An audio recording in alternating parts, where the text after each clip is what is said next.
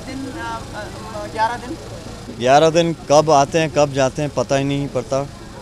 ऐसा लगता है कि ग्यारह दिन और एक्सटेंड कर लें।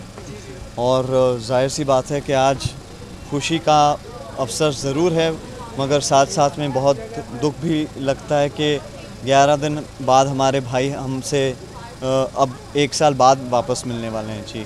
आपने एक प्रथा बना ली हमेशा मतलब ये हो गया है कि नीम के घर इस बार गणपति की स्थापना होती है। नहीं नहीं बिल्कुल पिछले तेईस सालों से हमारे घर पे ये उत्सव हम मनाए जा रहे हैं। और बल्कि बहुत गर्व महसूस करते हैं।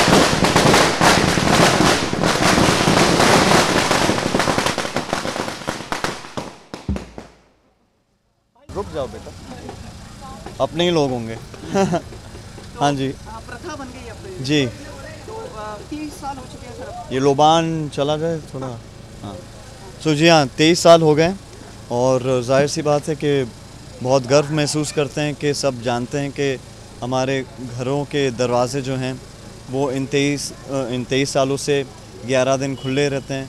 बहुत सारे भक्त आते हैं और बस बहुत प्यार से मुकेश परिवार में हम ये अवसर मनाते हैं। बार इस ग्यारह दिनों की सबसे बड़ी हाईलाइट और खासियत क्या रही? आई थिंक इस बार इतने लोग आए हैं और लोगों ने ये नहीं कहा है कि हम नितिन के लिए या मेरे लिए आए हैं।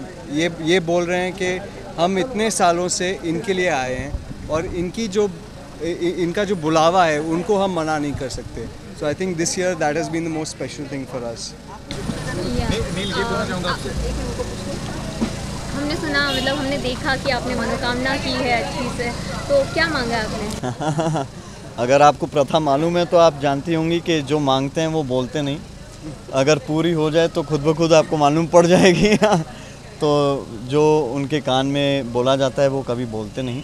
बस इतनी ही कामना करता हूँ और उम्मीद करता हूँ और प्रार्थना करता हूँ उनसे कि सबको बहुत खुश रखें, क्योंकि खुशी एक ऐसी चीज़ है जो खरीदी नहीं जा सकती तो और उसका मूल्य पैसों से नहीं होता। ये पूछना चाहूँगा दस या पंद्रह दिन का ये सेलिब्रेशन होता है लेकिन सिर्फ़ पंद्रह हाँ जी हाँ जी ग्यारह इस साल ग्यारह दिन। इतनी वक्त की बात होती है उसके बाद भी लाइफ टाइम तक आपको जब भी कोई चैलेंज होता है लाइफ में प्रोफेशनल लेवल पे या पर्सनल लेवल पे आपको लगता है कि आपके साथ गणपति हमेशा अगर आप मेरे घर ऊपर आए हों तो आपको शायद मालूम होगा कि घर मेरे हर घर के बाहर पहले गणेश जी स्थापित हैं और आते जाते हम हमेशा ही घर के अंदर भी मेरे दादू के घर में भी मेरे पिताजी के घर में हमारे सारे घरों में पहले गणेश जी विराजते हैं और हम बहुत ज़्यादा ही मानते हैं गणेश जी को।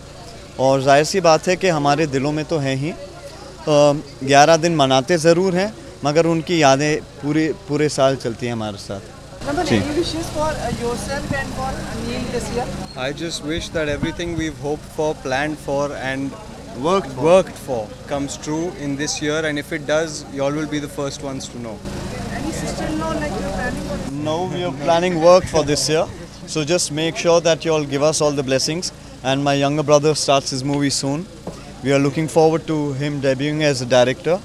And uh, I just hope he casts me in his film. I hope he, I hope he does my films. No plans. No, no, no, not not any plans for acting. Not right now. Thank God for that. one actor in the We- family, we, one we make a good team. yeah, we make a very good Great. team. Anyways, God bless you. Thank you for coming. Ganpati Bappa Moria. Moria.